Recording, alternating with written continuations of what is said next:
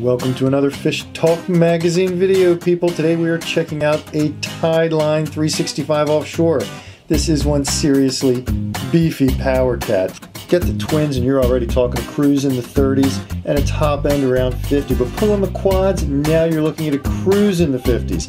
There is some serious speed on this boat, people. Just look at how we leave the Miami skyline in our wake. Michael Collins from Tideline's Boats was on board for our test run, so let's hear a few of the high points that he likes about this boat. Up front, we've got a really nice coffin and lounge area uh, that is a great place to hang out.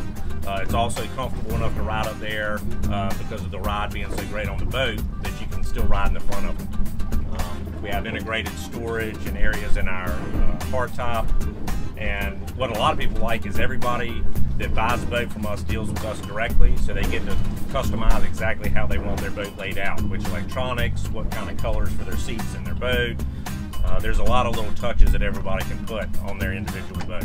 Some stock features you're sure to like. You have twin 45 gallon live wells, one in each corner of the transom, rod holders all along the transom and the gunnels.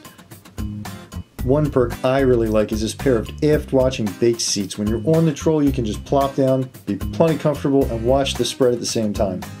If you love the smooth ride of a quality design and built Power Cat and you're looking for a boat in the mid to upper 30s, you have got to check out the Tideline 365 offshore people. Oh, and one little word of advice, get the quads. Don't miss another cool fish talk video. Click below to subscribe.